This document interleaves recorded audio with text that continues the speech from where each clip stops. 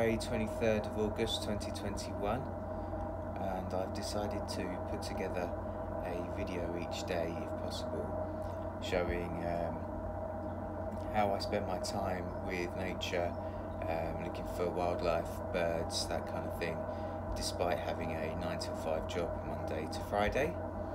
Um, so that includes any time I get in the mornings before work, my lunch break and of course in the evenings.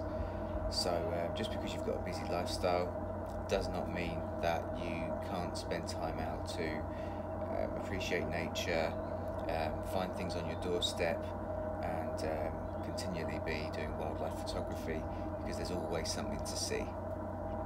So what I'm going to do is just put together short snippets, rough and ready, pretty much unedited from my iPhone, and show you throughout the day whenever I see something whenever I photograph something, what you can find on your doorstep without having to go very far. And I'll share those with you and uh, hopefully inspire some of you to do the same. So I'm not sure what this series will be called yet. Um, I will by the time I post this video and um, hopefully I'll try to update it uh, every other day if possible. Um, every day would be fantastic and um, you can see a kind of day-to-day -day diary what I get up to despite having a um, heavy workload.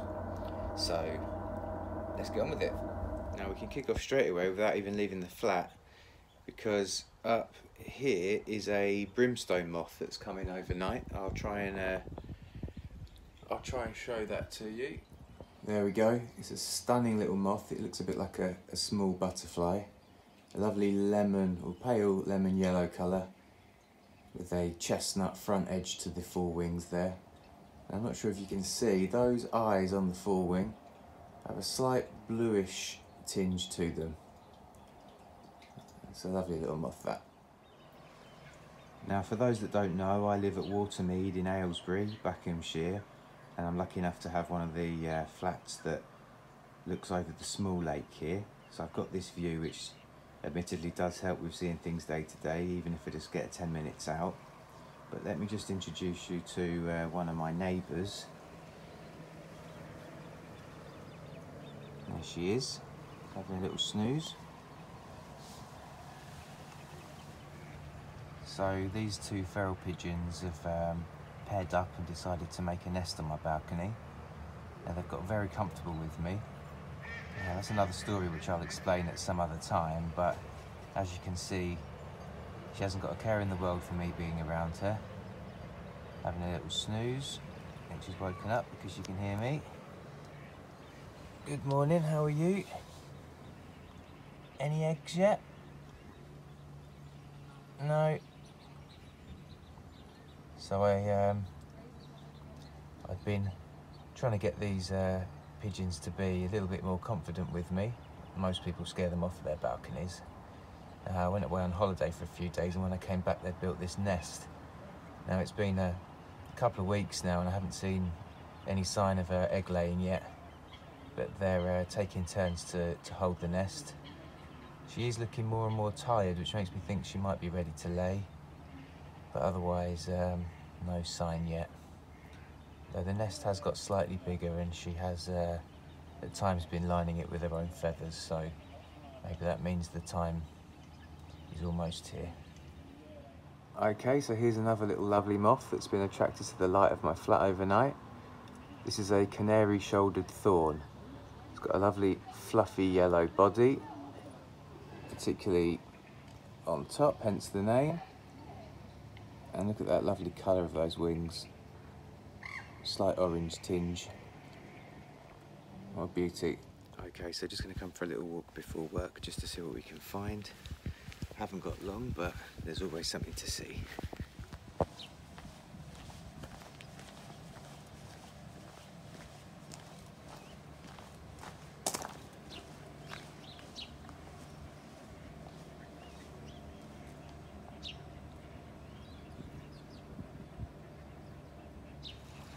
Here's a lovely little patch of marsh woundwort. That's a beautiful flower. It looks a bit like a salvia. And the bees particularly like it. Here's a um, common carder bee.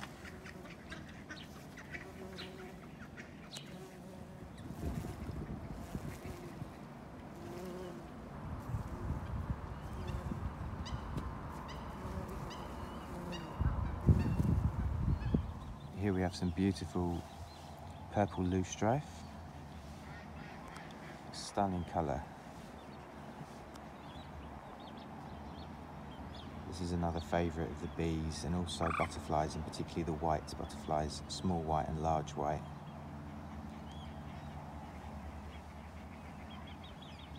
Like the marsh woundwort, this one also grows in the margins of water bodies.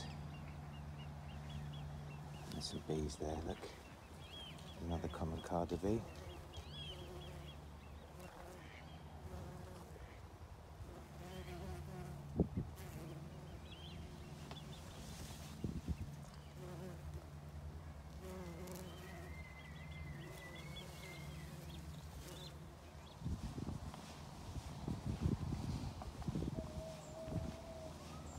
Here's some of the local young swans, mute swans. Having a little rest and a preen. Good morning.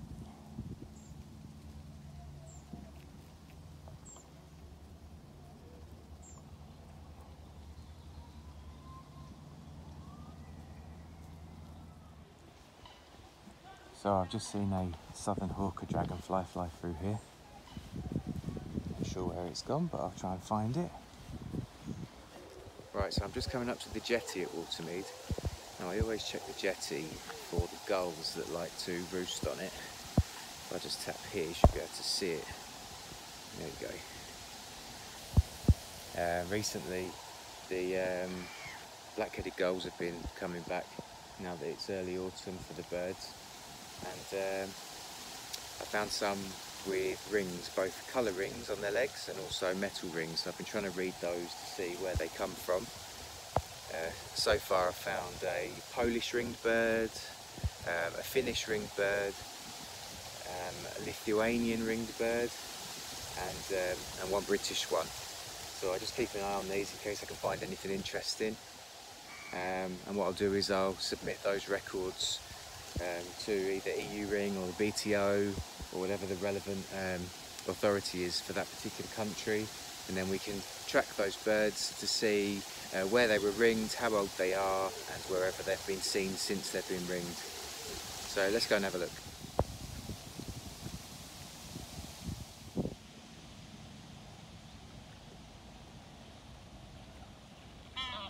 Some greylags there, greylag geese. You can also see the one white one there.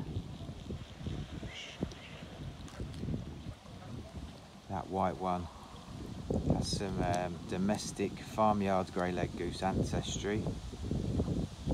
Now that white one bred with a uh, more regular coloured greylag goose this year, so their offspring are um, a bit half and half. You've got some that look like the uh, regular coloured adult um, and some that are a bit paler. Okay, so there weren't any rings on the few gulls that were there just now. Uh, they also flew quite quickly because they got frightened by somebody's dog that was walking on the other bank there. So we'll leave that for now and we'll head over in this direction where there's a, a ditch and the River Thame runs through there. It's quite good for dragonflies, so let's check it out. There's one dragonfly there now I can see. There it is not sure if you saw that, it looked to be a southern hawker.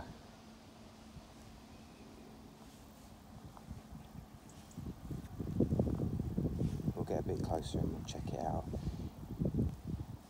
This is a very good spot for banded demoiselle. But as the um, seasons are changing now, there's a lot less than there have been recently. Now this is a flowering rush. It's actually one of the few reedy type plants that have actual flowers on them, or petal flowers anyway. And the hoverflies quite like these, but you can see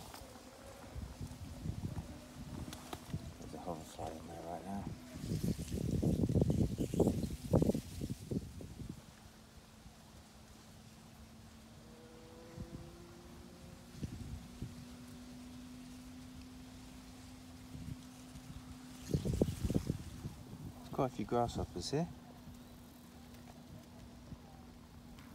There's one.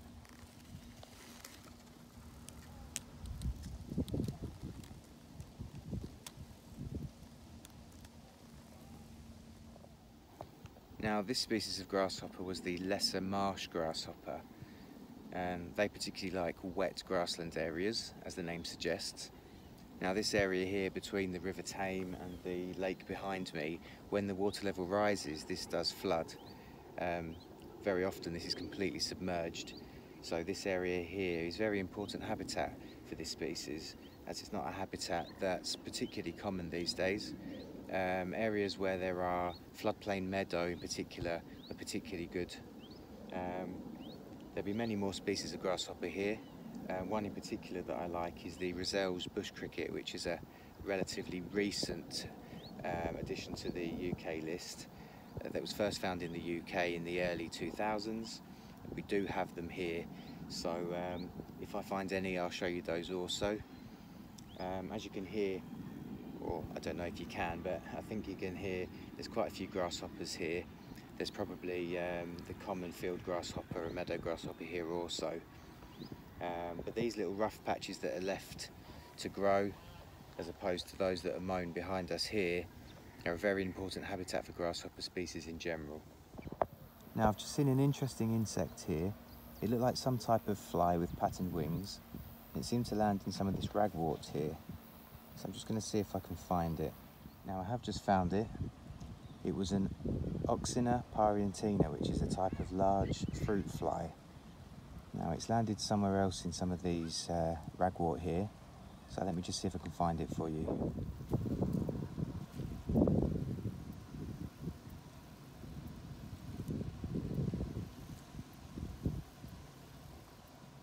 Okay, so just about to head back now as I need to start my work. I did just hear a common sandpiper fly across the lake, so I'll have a quick look to see if I can see it. I don't expect I will because it sounded quite far off. So this juvenile herring gull here has a pink ring on its right leg. Now this type of ring is used by rescue organisations. It's often so that they can identify which bird needs which medication. So when they have more than one of the same type of bird in care, they can see at a glance which bird needs the right medication. So I'm not sure if you can see the ring in this footage. There we go, it's just visible. As you can see, he's also not afraid of humans because he's been in captivity for a short while.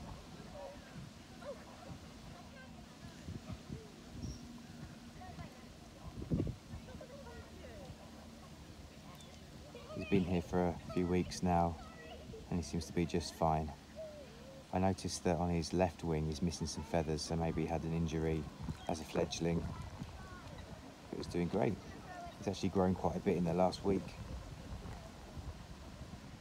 Now I've just heard the house martins doing their alarm call, which means that there's a predator around. So their alarm call is kind of a chew chew sound, and that usually means that there's either a sparrowhawk, but I don't ever seem that bothered about sparrowhawks, but most likely a hobby. And uh, I've just seen a hobby flying over in that direction there. It seemed to be hunting for dragonflies and seemed to be feeding itself mid-air. So you won't be able to see it. You won't be able to see it from here, it's tiny. It's a long distance, but I'll try and get some shots on my camera and then I can um, show you the back of camera shots to show you what I mean. So there we go, there's the hobby. You can see its uh, distinctive white cheeks there. So a hobby is a falcon related to both the peregrine falcon and the kestrel. It's a little bit bigger than a kestrel, it's quite a bit smaller than a, a peregrine. And I'll just um, grab the picture where it's feeding itself a dragonfly. Just bear with me one second. There we go, you can see there it's feeding itself a dragonfly from its talons to its bill. Now these are extremely long range photos this was taken at 600 millimeters and I've zoomed in as far as you can go in the shot. This is the original shot.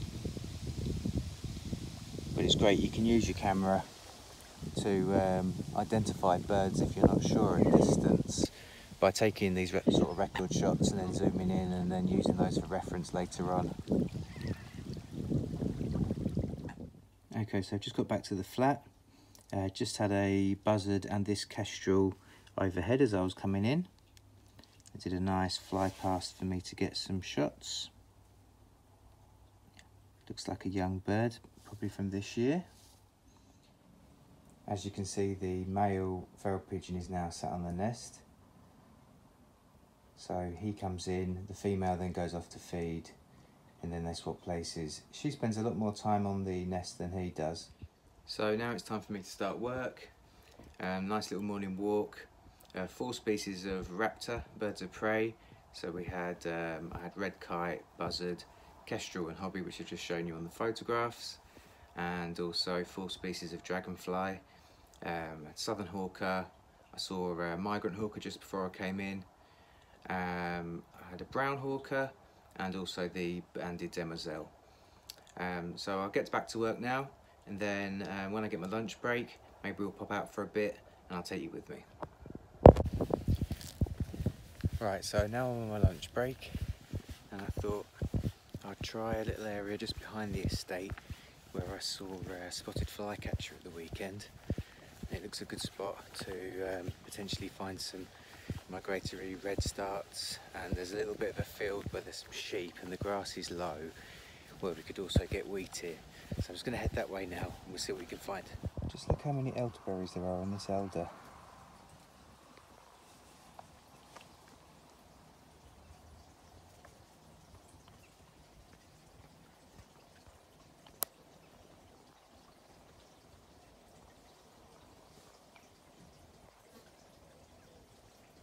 Great food for blackcaps in the autumn. Also so many berries on this Guelder Rose. This one's stunning.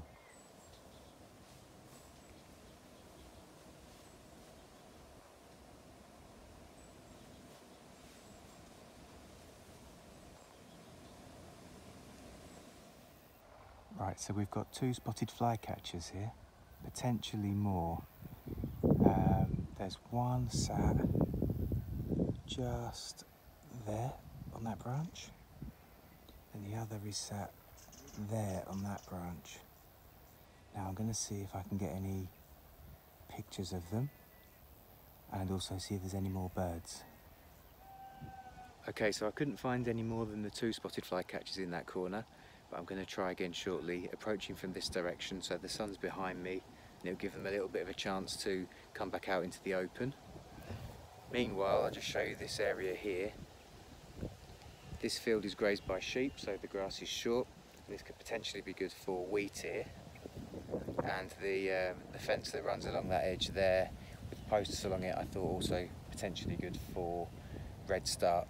So I'm just going to have a little bit of a look here and see if we can dig anything out. And then I'll approach back to where these spotted flycatchers were to see if they're more likely to show themselves now.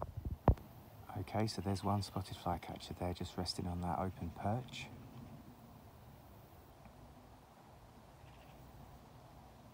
Let's see if it actually does some fly catching.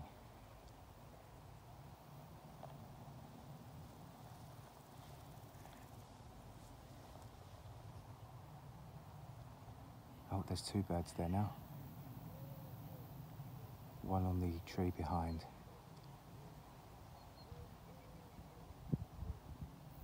Juvenile chiffchaff just below them.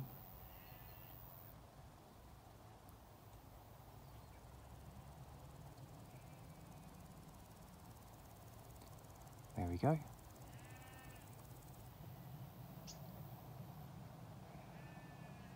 And again.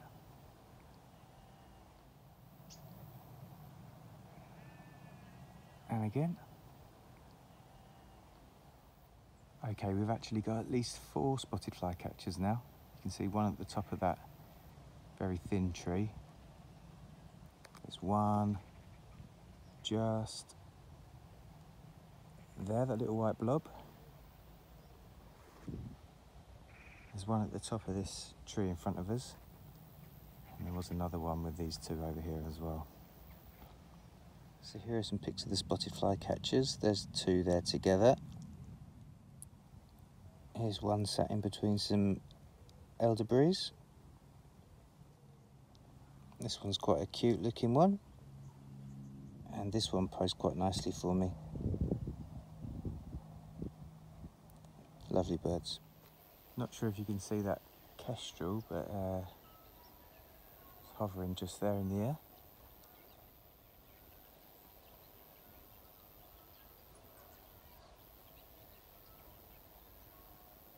Common darter dragonfly here. Now I don't think I'll be able to get any closer because as I inch forward, even with about two metres between us, it seems to move on. So I'll take a couple of shots and I'll show you one of them. Here's the common darter. It's a female type. Yet more fruits. Look at these crab apples. Loads of them. Plenty of food for the birds this autumn.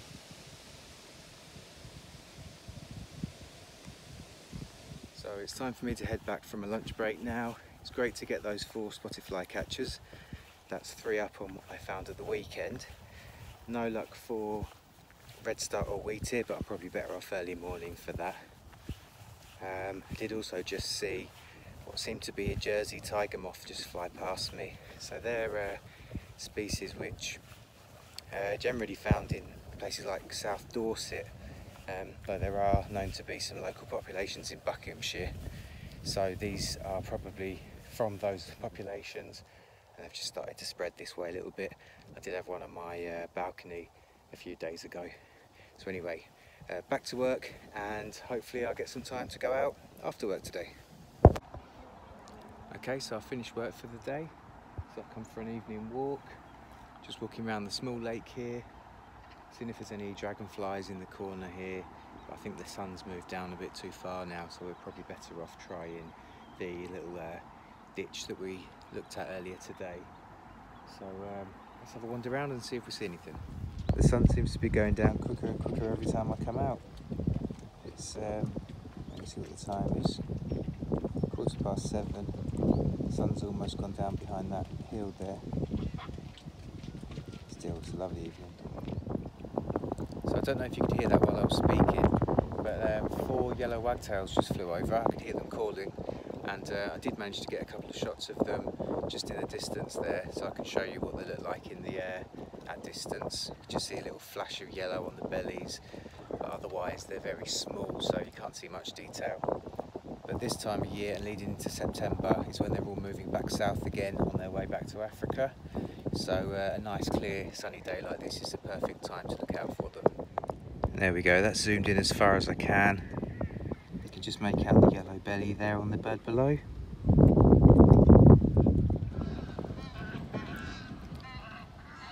Here come the greylags from earlier.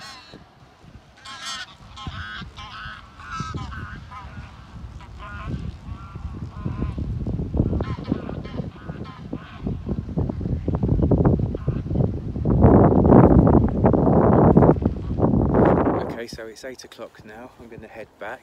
It's quite quiet this evening, although it was quite busy with people. Uh, did just see a juvenile common gull, which is quite early. In fact, I don't know if you can see this. I've just seen there on the hill, there's a muntjac feeding. Um, yeah, a juvenile common gull, which is quite early. I don't think I've ever seen one here in August before. Um, I did also get kingfisher, uh, great spotted woodpecker and green woodpecker here. Um, some migrant hawker dragonflies and um, just a really nice evening to be out to be honest. I'll just show you the colour of the sky now. Looking stunning. So I'm going to start heading back. We might still get some bits and pieces on the way back. That's the juvenile common gull. Quite distinctive underwing pattern. And uh, I also just saw a female teal fly into roost near the uh, islands and the trees at the north end of the lake just now. Okay, so I'm back at the flat now. I need to get ready to go to the gym for the first time in some time. Beautiful red sky over there.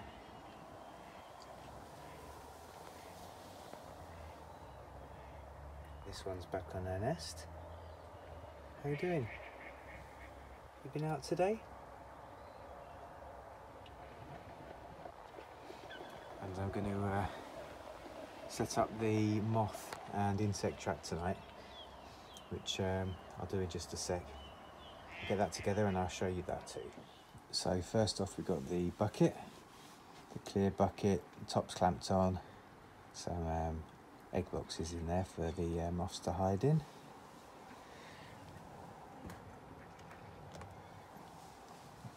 Generally set that on the table like that. Then we've got the actual lamp, which is a pendant lamp that I've modified. So this is all um, homemade gear. I'll explain in another video how I've actually put this together. But for now, I'm just going to hang this on the hook of my balcony up there. There we go, so that's the setup. Hangs from above, sits in the bucket. Cable comes inside. We can switch that on now.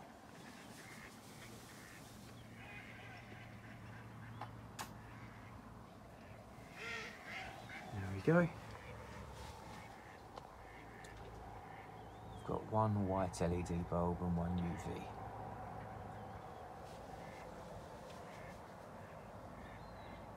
She's not one bit bothered by it.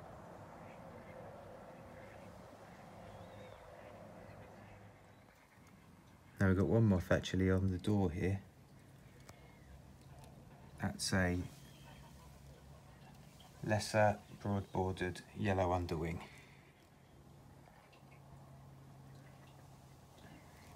You can actually see the uh, yellow underwing there.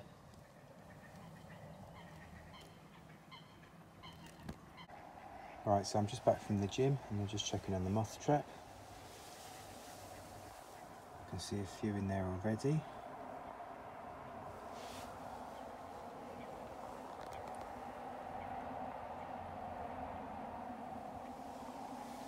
Let's see what else comes while we're sat here. There's a brimstone moth, like the one we had this morning on the ceiling. There we go. Jersey tiger moth.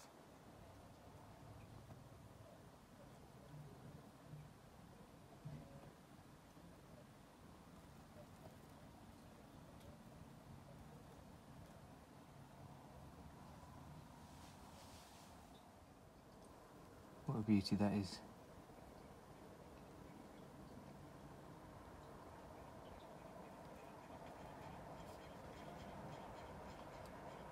Those pretty much black and white stripes and bright red underwing.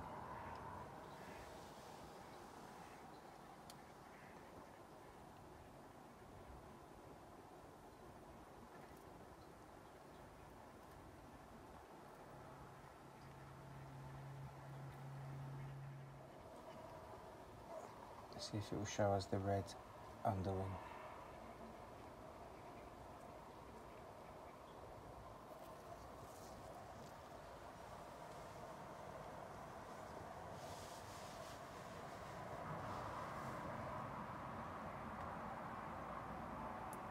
Doesn't seem too bothered by me, does it? So I've just come into my bathroom and found this small tortoiseshell butterfly roosting in here.